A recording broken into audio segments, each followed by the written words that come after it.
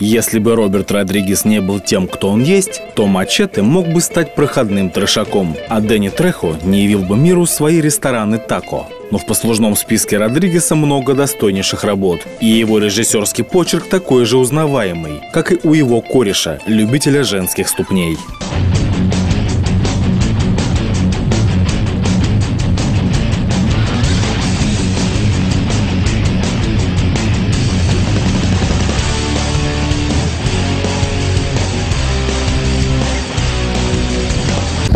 Как же актуален этот фильм для сегодняшней Америки? С желанием нового президента США, конечно же, не поспоришь. И если он задумал возвести новую гигантскую стену, оплатив ее с помощью самой Мексики, то, наверное, так оно и будет. Проблема дешевой рабочей силы, которую поставляют страны менее успешные в экономическом плане для стран более развитых, это известная и старая проблема. Люди всегда стремятся туда, где лучше и готовы пахать там за маленькие деньги по местным меркам. Для многих не секрет, что история История Мачете Кортеса – это типичная история наемника, коих в реальной жизни очень много. Грязную работу ФБР и ЦРУ также выполняют специалисты и из той же Мексики, за сумму гораздо более меньшую. Вот таков и Мачете. И то, что его наняли на рынке нелегалов выполнить грязную работенку по устранению сенатора – это некий пародийный стереотип, так как люди, которые бегают в местах наема за грузовичками в поисках работы, готовы практически на любое предложение. Помимо буйства огня и крови, сплетенного в вихре эксплуатационного кино, фильм не так уж и прост, как кажется на первый взгляд.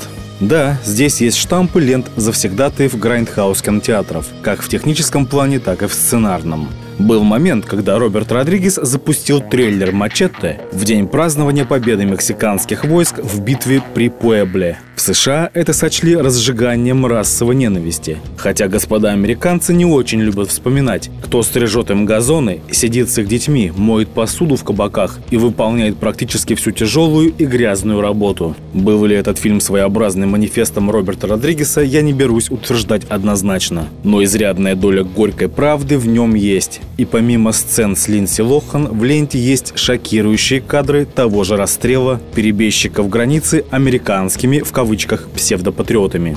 США всегда была и останется страной иммигрантов, которые сделали ее такой, какой мы ее видим сейчас. Я не спорю, что в настоящее время Мексика является основным иностранным поставщиком марихуаны, кокаина и метамфетамина в США, а мексиканские наркокартели доминируют на оптовом незаконном рынке наркотиков в США. Далеко не лучше люди попадают из Мексики в Соединенные Штаты, но Мачете Кортес не из их числа. Родригес прописал этот типаж еще в начале 90-х, а из исполнителю главной роли Дэнни Трехо так хотелось потрясти зрителей своей актерской игрой, что он день и ночь звонил на мобильник Родригеса, подгоняя того начать съемки. Кстати, отсюда и родилась знаменитая цитата Мачете, так как на вопрос Родригеса «Почему ты мне звонишь ночью?» вместо того, чтобы прислать смс-ку, Дэнни Трехо съязвил «Мачете не смсит».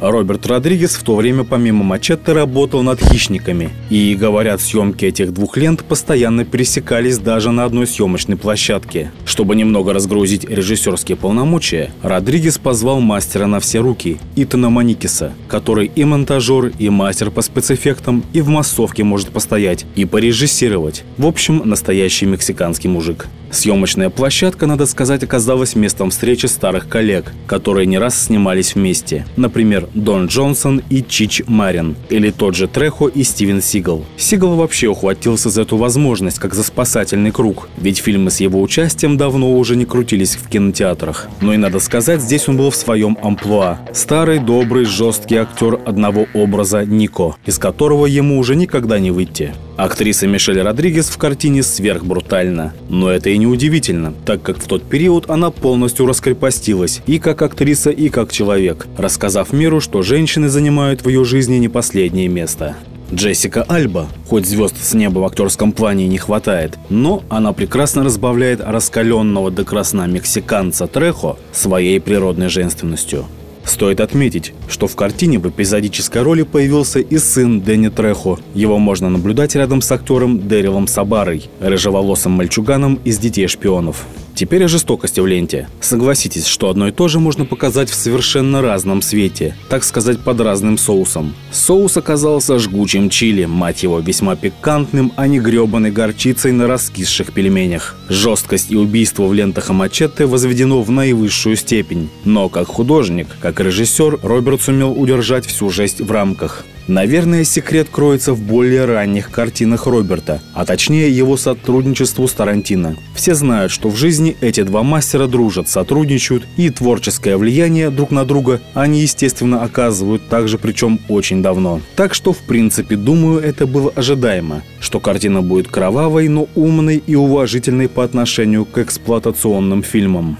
Практически все спецэффекты для этой картины были сделаны на студии Родригеса, и он лично провел немыслимое количество часов, участвуя в создании цифровых эффектов. На этот раз его друзья из KNB Effects Group делали для него хищников, так что кровь большей частью была цифровой. Музыкальные темы в киноленте почти восхитительны. Музыка меня не то чтобы зацепила, но она оказалась весьма и весьма к месту. Отразила, так сказать, дух самой Мексики и экшена. Я совсем забыл упомянуть про участие в картине уроженца города Питтсбург по фамилии Савинни. И вот знаете, когда я смотрел картину впервые, я нисколько не удивился тому, что он там есть. Было бы удивительно, если бы его там не было. Мачете нашел своих зрителей и оброс армией фанатов, причисливший фильм к картинам «Доказательства смерти» и «Планета страха», снятых в подобной стилистике показать проблему, обернув ее в обертку из скрометного трэша. Это Родригесу удалось. Сделав фальшивый трейлер к их совместному с Тарантино проекту в 2007-м, Родригес снял его так здорово, что Боб Вайнштейн с Dimension Films, увидев трейлер, намекнул,